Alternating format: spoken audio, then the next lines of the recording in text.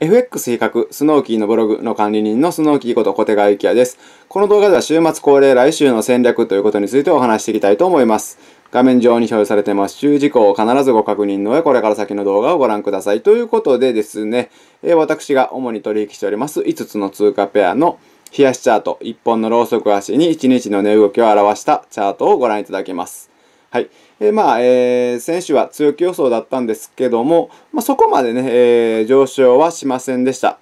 はい。ただね、まあ、底堅い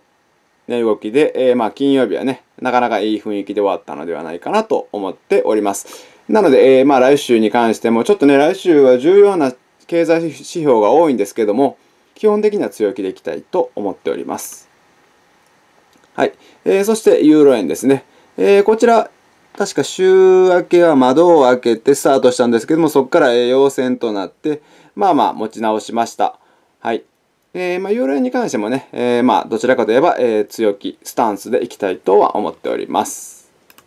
続きまして、えー、ポンド円ですね。まあ、上がるわけでも下がるわけでもなくということで、まあ、横ばいな、えー、値動きとなりました。えー、来週に関しては、まあ、上にちょっと抜けてもおかしくないのではないかなと見ております。はい。続きまして、えー、ユーロドルですね。まあ、こちらもね、本当に値動きが小さくなってきましたよね。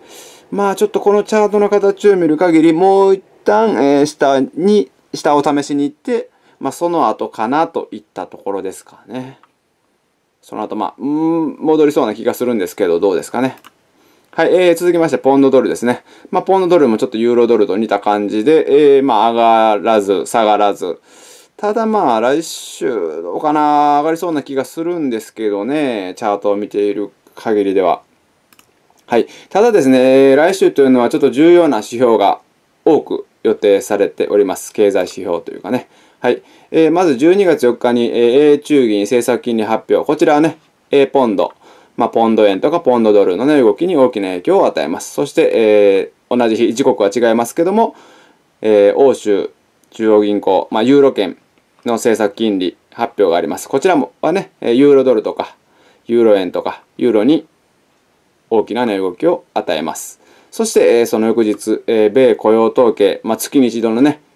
FX のトレーダーのお祭りのようなイベントです。はい。えー、まあ、大きく動く可能性が高いのでご注意ください。特にね、まあこの3つ本当にあの重要なので、ポジションを持っている方は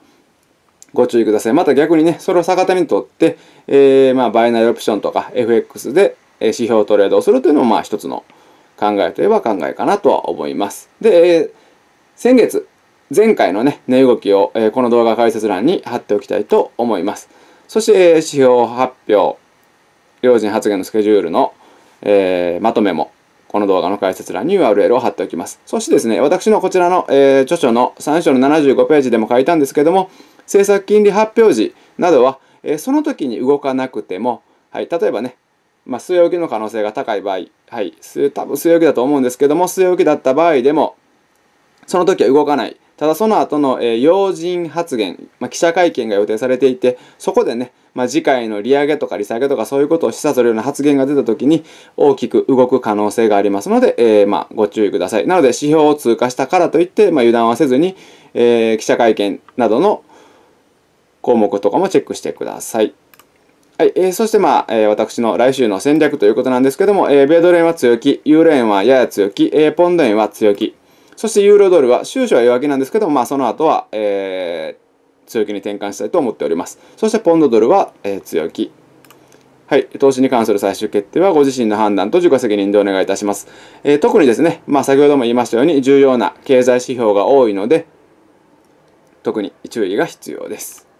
はい。えー、まあ今回は週末恒例来週の戦略でしたけども、これ以外にも FX、バイナリーオプション、システムトレードなどなど投資に関する情報を配信していきますので、チャンネル登録をお願いいたします。そして私のブログは、えー、こちらの2つありますので、えー、こちらの検索キーワードもしくは動画解説欄に URL を貼っておきますので、そちらからご覧ください。ということで今回は以上になります。最後までご覧いただきありがとうございました。スノーキーこと小手川幸也でした。